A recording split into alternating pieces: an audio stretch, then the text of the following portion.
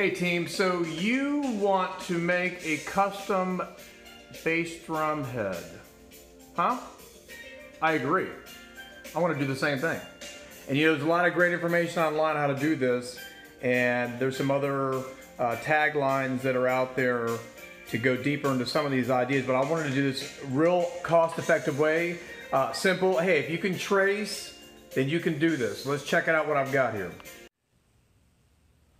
Okay, so here we go. So what I wanted to do is get basically a font, a name on the bass drum head. You can do your band name, you can do whatever you want. So here it is real quick. So you're gonna need Goof Off to remove the old logo. The one that I had on my bass drum head was a huge Mapex uh, you know, logo that I had to take off. So this works really well. You gotta be patient with it. It's very strong stuff, wear gloves.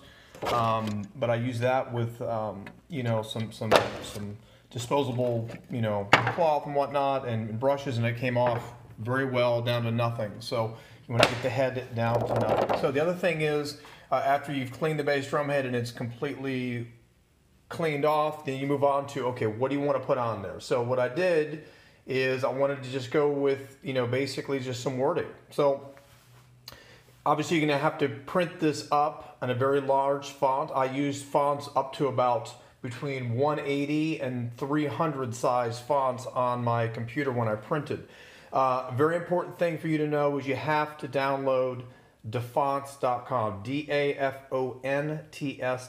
It's a great uh, tutorial video on YouTube about how to download fonts from dafonts.com uh, .com. Uh, so check that out first, and then they, you'll figure out how to pull some of these really cool fonts in there. So I really like this one right here, uh, but I ended up not going with it. I ended up trumping it for the other one, uh, obviously. But you can see all the different styles. The cool thing about, once again, DaFonts is that you can add these little widget type patterns or uh, even something like that. You can put on the bottom of uh, some written words. So, uh, you know, like this, for example, is what it would end up looking like. So it's kind of a cool effect, and I ended up doing it on my end, end product. So anyway, print it up, get the size you want.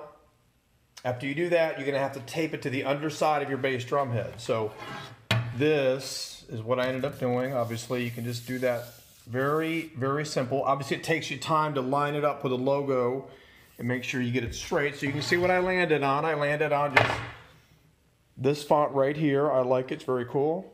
Uh, and all, all, I've done so far, so basically you just take your pencil and you outline the edges. Anyone can do this, right? We did this in school. Just kind of just trace it. And then I'm going to fill the inside with either Sharpie or I'm going to use uh, enamel paint uh, to make it really look good. A nice semi-gloss or heavy gloss enamel paint. You can see what I ended up going with right here uh, on the ends, this little cool pattern that was basically one pattern that I cut in half and put the left side over here and the right side over there. But yeah, there it is, real simple bass drum, custom bass drum head to whatever you want. You can do pictures, you can do different colors. Obviously, you know, your imagination is the limit there in terms of what you can do. So, but I want to take a minute and show you guys this and hope you have a good time figuring out what you want to do and I will see you around. Later. Hi, I'm Ringo. I play the drums. Hear the rest of me blokes. Well, I had to play around a little bit. Hey, listen, I want to tell you, this was the hardest thing ever.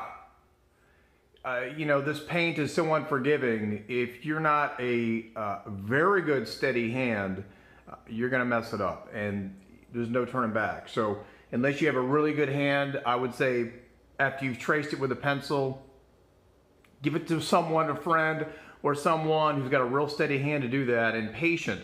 It took me probably four days to do this and finish it, but I wanted to show you the finished product. It came out okay, I like it, but it was very nerve wracking and, and pay, I had to pace myself out because you, you can't start doing this with this paint and, and start getting tired and not focus and mess up a line because it's gonna show that you messed up the line. So let me show you what I got here.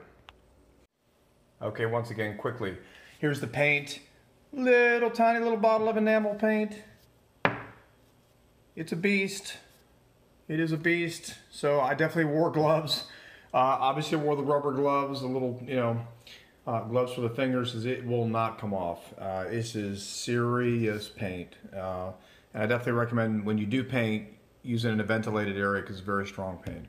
Um, okay, that being said, moving on to the brush. The brush, I use a very thin brush. I went online to get the information about how to do thin lines, how to paint with thin lines, and um, unanimously all the videos came to this type of brush. It's called a dagger brush, uh, but it worked pretty well. I didn't even use any of the big ones, but obviously I didn't do a big font. So finished product is, ta-da, there it is. I like it, it came out good. I mean, for the most part. I mean, there's some shaky lines in there you cannot see from the audience perspective. Uh, but if you, on the M is a little bit, if you zoom in the M, you can see there's a little shaky line right in here. But honestly, when you take it back, you can't see that. But I would say, hey, unless you have a steady hand, once again, don't bother trying to do this. It's not going to come out good. It's not going to look nice. Uh, I am okay, average uh, artist, so I have somewhat of a steady hand to do this. Uh, but one thing I'll note real quick, you know, one thing I should have done, uh, now you can see at the bottom of the screen where the Remo logo kicks in, it wasn't really even to the design that I did, so it's off-centered. So what I'm going to do, I'm going to probably take the goof off and just remove that uh, because it really didn't line up, you know, very well. Sorry about the, I don't know why it's fading out there, but it didn't come out that good as far as um, I don't know. I'll look at that again. But anyway, there it is. Uh, I wanted to give you guys uh, the finished product. It's always good to finish this. It took days to do it, but it's all good. I took my time, and then of course put the bass drum rim on it to give you a good perspective what it's going to look like when I'm ready to rock.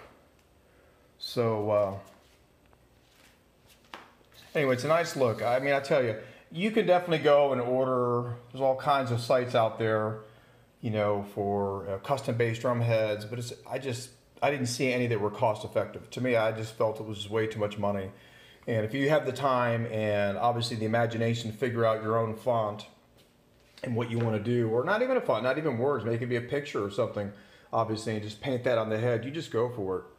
That's why I wanted to make this video and show you that you can do this and you can make it look nice. Um, honestly, the, the paint was what, $4? The brushes were 5 for a full set. Then you just got the time and you do it and you're done. Now I just got to finish my drums. All right, listen, you guys take care and I will see you around.